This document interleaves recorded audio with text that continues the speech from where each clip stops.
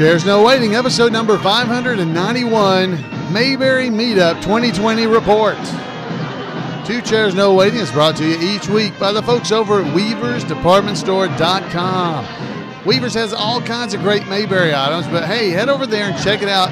They've got seven exclusive t shirt designs that you can get. Go over and check them out. They're right there on the front page. You click it, you can see them all.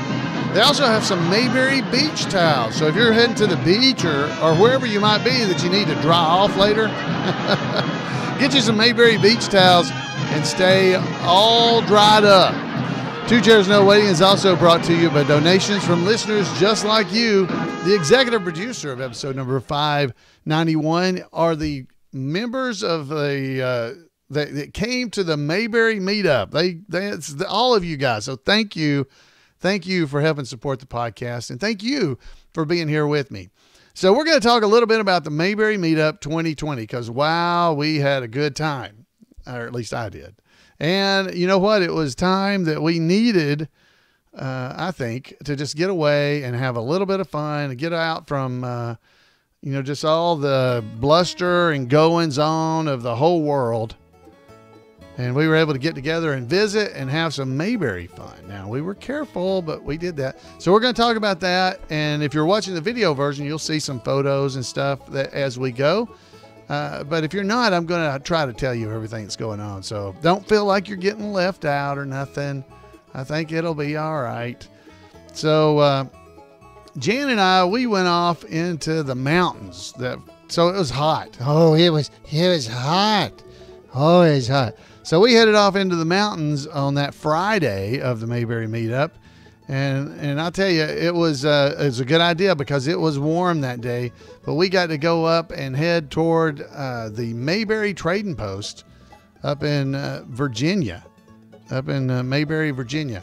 Now I don't know how many of y'all have ever been there and seen it and done stuff, but uh, the Mayberry Trading Post is is really really close to this place called Mayberry Creek. Now, maybe you've never been to Mayberry Creek, but if you have, Mayberry Creek is just, I mean, you can almost throw a rock to the road where you turn to head to see the Mayberry Trading Post. Now, we always stop at Mayberry Creek, by the way. It's right off the Blue Ridge Parkway.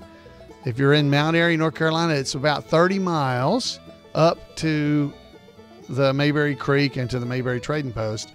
And you can you can drive up and and it's it's a nice cool drive. It's so pretty.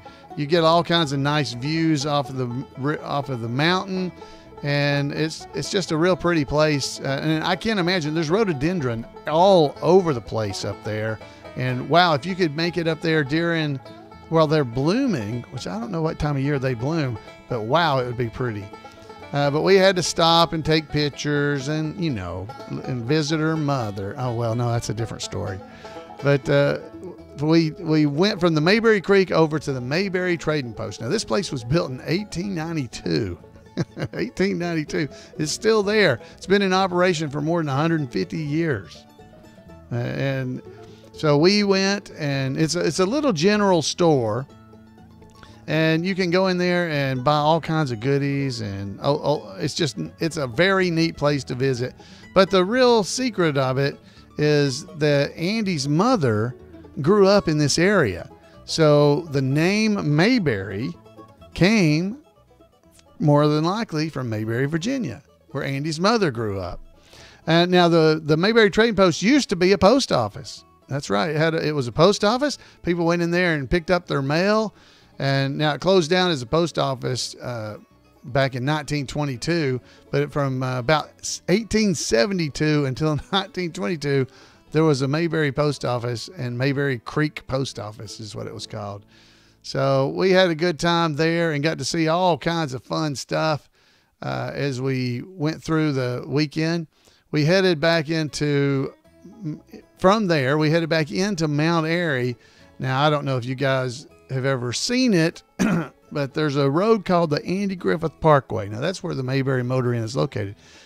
But there just also happens to be a road called Newsom Street. That's right, Newsom Street. Well, you know, and it intersects with the Andy Griffith Parkway Newsom Street and the Andy Griffith Parkway. So somebody had to stop and get their picture made at the sign. Now, and it could have been me.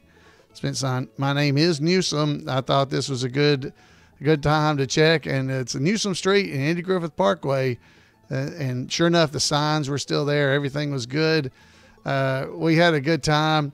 The tribute artists were several of us were at this event, and uh, Jeff Branch, uh, Howard Sprague, he even bought us because you know all the COVID stuff that's going around currently. He brought us masks with our characters on the front. So Jeff's has Howard, mine has Floyd, and Otis's. He had uh, Otis on his, so of course we had to get our pictures made wearing them together. But uh, those are those are fun. We we sat around outside the gazebo on both Friday and Saturday night and had an absolutely wonderful time. There was, there was, let's see, on Friday night, let's see here, there was, uh, I'm trying to look here in my book, uh, 61 folks showed up on Friday night. And then on Saturday night, we had 69, at least that wrote down their names for us. So we think that that's about how many we had. We don't know if there was just 69 total people or a few more than that. I think there's somewhere around 75 people or so that were there during the weekend, and uh, and we did a pretty good job of uh, you know being respectful to the social distancing stuff because I know people have got this COVID stuff going on in 2020. Now someday you guys are going to hear this and go, they did what? But uh, we had to stay away from each other because there was that virus that was going around and nobody wanted to get sick. But we sat around and we watched the Andy Griffith show on the big screen, and everybody visited and talked uh, at a distance, and they yelled at each other, and uh, and families kind of sat together, and folks wore masks if they felt like they were getting too close to somebody or anything like that. It was just the Mayberry thing to do, to tell you the truth. And so Saturday night we did all that, uh, gathering together and visiting. Sunday morning, we had the Mayberry Bible study. Uh, and this year it was a little different. We didn't actually do it based on an episode of the Andy Griffith Show, but I really felt like with all the stuff that had been going on in and around the world recently, that just sitting there and talking and trying to talk about some of the good things that could have happened because you've been stuck at home and unable to get out and do things like you normally do there's a, there's some good silver linings for some of those things. So we were able to visit and talk about that as well. So all in all, I thought it was a great weekend. Everybody uh, headed on home right after the uh, the Bible study period. Most people headed home and were able to, you know, get back in time to go to work or whatever they needed to do. So I should have mentioned on Saturday night we had a, well, we call it a tri- uh, amateur tribute artist contest, but it's not really even a contest. Uh, this uh, Indiana Steve, I think, is who came up with this idea. Indiana Steve in our chat room. Uh, he's the one that came up with this idea. I think last year may have been the first year we did it, and I honestly didn't believe anybody would participate, but they did, and wow, it was so fun. It was a lot of fun. Everybody enjoyed it, so we did it again this year, and the, and and like I said, it's not really a contest. It's more of a uh, a parade. That's what I think Steve ended up calling it. We had uh, a fella, Mike Creech, known him for years. He dressed up as Countess Vanthelecki. Now, granted, we've never seen him, but Mike had a an old 17th century, uh, not 17th century, 1700s, 18th century outfit on and he he had the box with the lamp and the cards and the, everything in there. So Mike was ready to go as Countess Vanthelecki. Great job he did. Uh, Steve Hinkley, he had his uh, he had his Regis sign and outfit ready to go. So he was Regis. And Dewey Lamb, I don't think I have a picture of Dewey though. Dewey Lamb was also Regis. So we had two Regises, and uh, and Rita Steve Indiana Steve's wife, she was the shoplifter. She came out there and she had on a trench coat, and there she was running out to get in, coming to to the parade to be judged by everybody. She was clinking the whole way there, and so we, we went we went in and got a scale and asked her to step up onto it. wow, great fun. She had she had stuff hanging all around her, and she every every step she took was clank, clank, clank, clank. It was great. I don't think anybody had done that her before. We had Vicky. She dressed up as uh, let's see, she was Karen Moore. You know, Thelma Lou's cousin, Karen, that could shoot the gun, shoot the rifles and stuff. You know, she played Annie Oakley, Oakley on uh, on Annie Oakley. Uh, so anyway, she was uh, she did that one. We had uh, we had we had Kentucky Mike and his wife were they were uh, Jerry Miller. He was and the and the he was the sultan. It was the sultan and and the dancer. She was the dance. It was awesome. Uh, they were uh, they were probably the winner. We didn't really have a winner, and honestly, the we had everybody clap for all the different uh, contestants, and it was almost dead even. Uh, but we all kind of just really liked this one because nobody had ever done the Sultan at all, so that was pretty fun. And uh, like Dewey Lamb, he gave away all kinds of door prizes he had there with us. And he was also, he had his Down with the Gold Standard sign. He was there. We had Goober Fife. He was Diamond Jim uh, from Diamond Jim's Butcher Shop. Our meat is tough, is what his sign said. so these folks, they came up with some great ideas about uh, costumes they could come up with, with characters that nobody had ever seen, but we had heard about on the Andy Griffith Show. Diamond Jim's uh, Butcher Shop sign said, uh, we're 10 cents cheaper than Foley's. Ask me about a 150 uh, pound meat bundle. oh, it was great. It was absolutely great. So we had uh, a whole crew. Oh, oh, I didn't even talk about. We had the uh, convicts at large. There was three of them. We had all three of the convicts at large there, and it was absolutely they. Uh, the ladies did a great job with that as well. Uh, man, it was just it was so much fun for us all just to be able to, I don't know, get away from uh, being stuck at home and just enjoy some fun and laughter together. And everybody kind of tried to judge the the different uh, folks that had dressed up. To we tried to kind of come up with a winner, but in all honesty, they were all winners.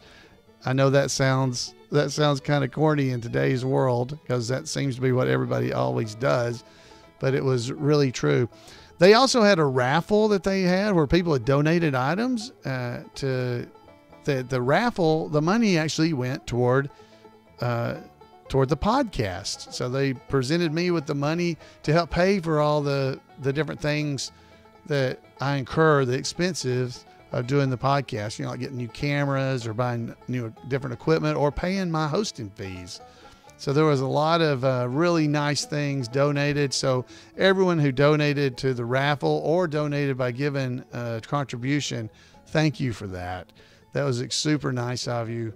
Uh, I mean, there was just so much giving going on this weekend that uh, I just can't I can't say enough about how much I appreciate everybody that was able to make it there. I'm sorry if you couldn't make it there to be a part of the meetup, but it was a really, really fun, special weekend. It always is. We always have a good time at the meetup.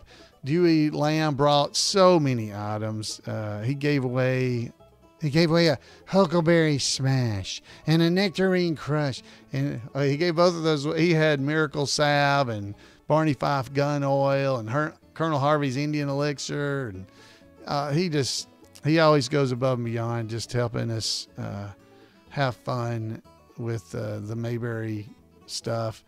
Uh, we got to see Phil Lee. Now, some of you guys may not know Phil Lee. He was the original Ernest T. Bass when we when I first started doing Floyd the Barber at Mayberry Days. It was only David Browning as as the Mayberry deputy, and Phil Lee was the uh, Ernest T. And that's uh, he was there and visited with us that weekend.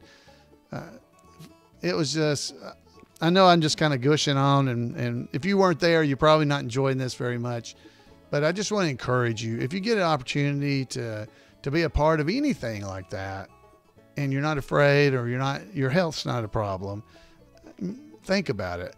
My prayer is that everybody return home safely and there's no illness or anything from the Mayberry Motor Inn and from the meetup. Uh, we had a murder mystery, the Mayberry murder mystery that Steve, uh, Indiana Steve, did. And we had uh, folks going around trying to figure out what the murder mystery was. We had uh, we had chocolate that was for the meetup that had little pictures of stuff from the Andy Griffith Show on it. Uh, it was it was a fun weekend that I think a lot of people really needed just to be able to get out of the house for a little while and visit together uh, in a Mayberry way because we just all been kind of stuck in the home for quite a while. And so, anyway, I, I think everybody had a good time, and I know I did. But uh, it was a it was a very fun and special weekend. So, here's what the next thing I want to remind you or tell you about. So, if you couldn't come, or even if you could, we're going to be trying to do some uh, meetups online because uh, we're going to do some Zoom meetings possibly or some gatherings over on uh, maybe at the Facebook page, uh, the group. We can do it there. But we're wanting to try to just keep everybody's spirits up because this doesn't look like it's going to end anytime real soon.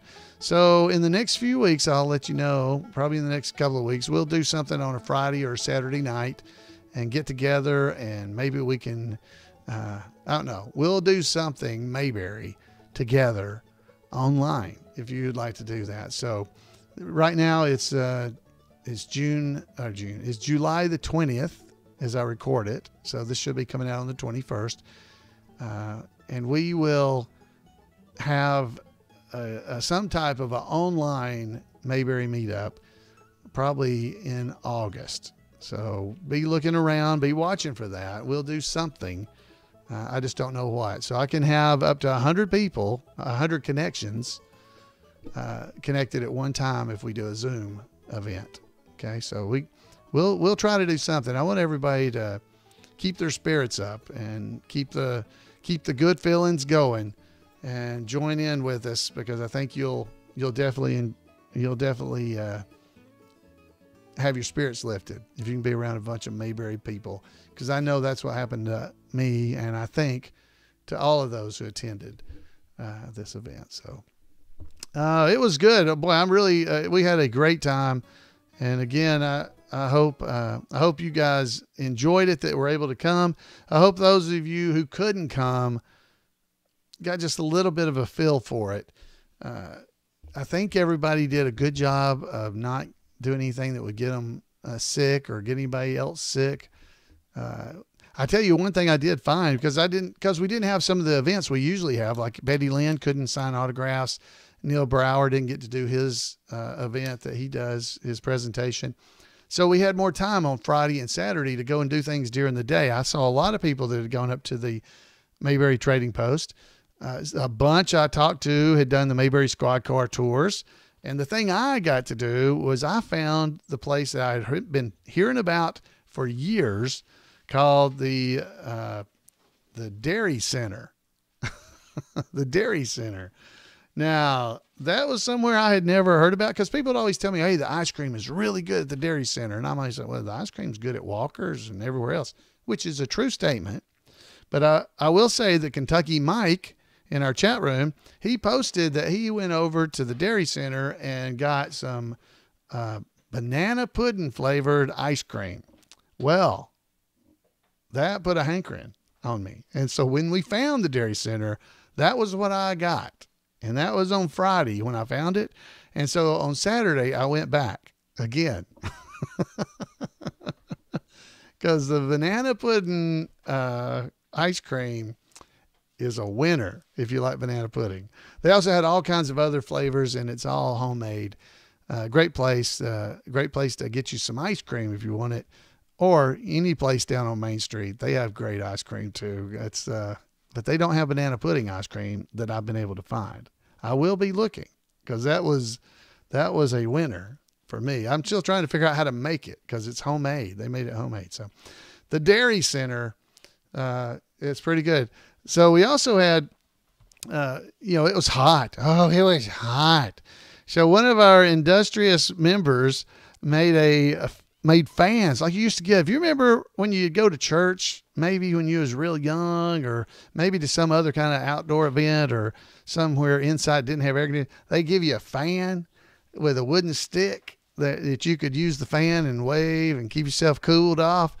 Well, one of our industrious uh, members brought a eighth annual Mayberry meetup fans so they're they're wooden they're wooden stick wooden handle fans that boy you could uh, you could fan with, and uh, so we want to thank Lydia in the chat room for doing that because these are awesome. They they folks would have probably paid her for these if she had just sold them for a dollar or two, but she was nice enough to just give them out.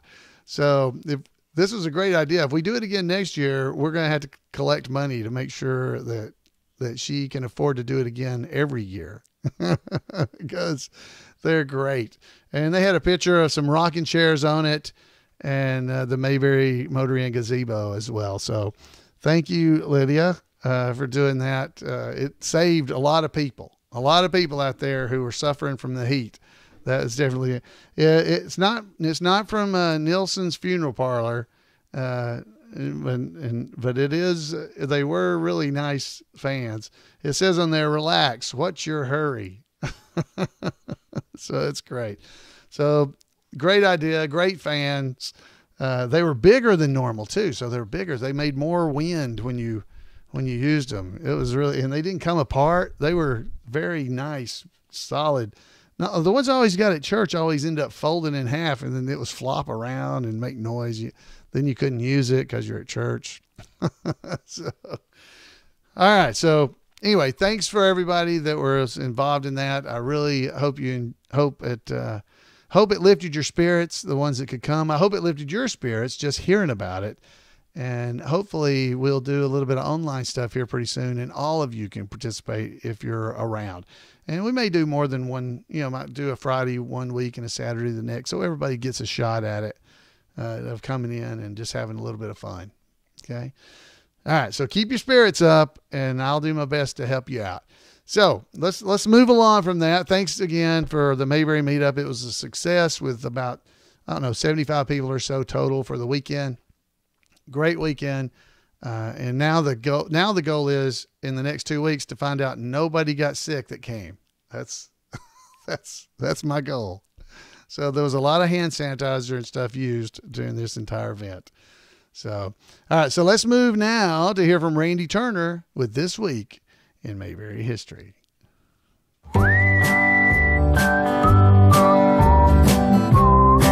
Welcome to This Week in Mayberry History, a report by special correspondent Randy Turner of the Gomer and Goober Pyle Comic Book Literary Guild of the Mayberry Historical Society.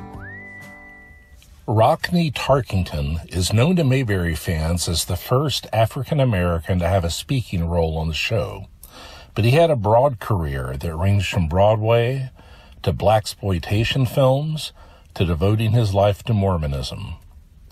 Rockne was born in Junction City, Kansas on July 15, 1931. The beginnings of his career cannot be answered with specificity. The Internet Movie Database, not always known for its reliability, indicates Rockne made his debut in both television and film in 1963, but Rockne himself said otherwise. The actor indicated he had appeared earlier than 1961 in various series. His appearances were likely as a background actor, which may explain the gap in the online source. While there is no way to ascertain which was his first television role, it could have been The Red Skelton Show, which began back in 1951. But Skelton's show ran so long, it could also have been in Have Gun Will Travel or Meet McGraw, both of which debuted in 1957. Regardless, he also appeared in Man with a Camera, which starred Charles Bronson, The Texan, Shirley Temple's Storybook, and Day in Court, all of which began in 1958. Rockne also indicated he appeared in several films earlier than online sources indicate. Those movies being South Pacific and The Buccaneer from 1958 and Porgy and Bess in 1959. He also acted on the stage in California early in his career, appearing in several plays in Los Angeles and at the Beverly Hills Theater. The reason I used 1961 as the threshold is because Rockne appeared that year as one of the leads alongside Dennis Hopper in Rockne's only Broadway show, The Controversial Mandingo. The information about Rockne's earlier appearances were all listed by him in his bio in the show's playbill. Rockne was six foot five inches tall and often played imposing figures. He was a police officer in the Alfred Hitchcock Hour in 1963, a soldier in the 1963 film Soldier in the Rain, another soldier in the 1964 series The Great Adventure, and yet another soldier in 1965 in the series Bob Hope Presents the Chrysler Theater. Rockne also appeared in the 1965 comedy adventure Clarence the Cross-Eyed Lion, and appeared in other series such as The Man from Uncle in 1964 and 1966, and in Bewitched in 1966. Rockne also made his first of four appearances in 1966 as a recurring character, which would later be followed by four more appearances as different characters in the TV series Tarzan. In 1967, Rockne appeared in Mayberry as Flip Conroy, a Mayberian who had left town and become a professional football player and was returning to coach the school team. Flip later revealed that in addition to his physical prowess, he was also a trained pianist. Rockne is often referenced as the only African American to ever have a credited speaking role on The Andy Griffith Show. He was the first, and technically the only example in the town of Mayberry, but he was not the only one in the series, as two other African Americans had speaking roles in the tropical location where Howard Sprague briefly moved. Rockne was a regular in Danger Island, the only live program within a program, the rest being animated, on the Banana Splits Adventure Hour. He appeared in a small part in the 1970 film The Great White Hope, which starred James Earl Jones and Jane Seymour. He was the main villain in The No Mercy Man, a 1973 revenge film, which also starred Richard X. Slattery, who had played Barney's boss in Raleigh. The film was one that Quentin Tarantino later showed as part of a program of revenge films. Rockne was originally cast as one of the leads in the 1973 Bruce Lee film Enter the Dragon.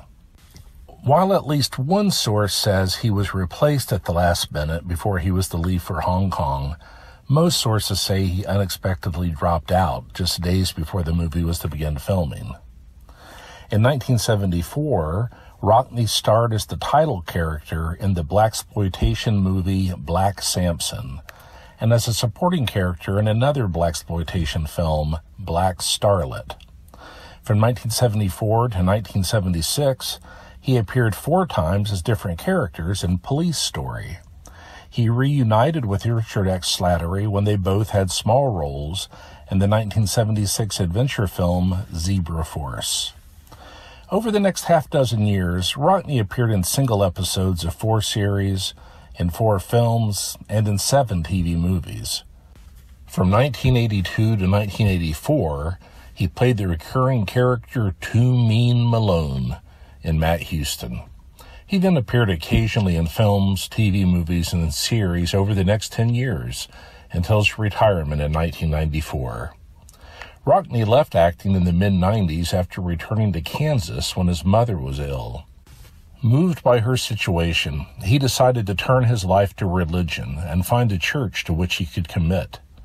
After visiting several, he saw a television commercial for the Church of Jesus Christ of Latter day Saints. The commercial provided a phone number to call for more information, but he missed the number. A few months later, he finally saw the commercial again and was eventually baptized as a Mormon in 1997. Rockne passed away in 2015. But that's it for this week. As always, thanks for listening, and remember to take care of yourself, care for one another, and take Andy's advice and act like somebody. Wow, thank you, Randy, for that great report. Uh, you know, that's I didn't know any of that stuff about it. If you want to make sure you don't miss out on the stuff that Randy's doing online, make sure you send him an email at turnersgrade at gmail.com, turnersgrade at gmail.com, and he'll make sure you don't miss out on any of the great information that he keeps finding.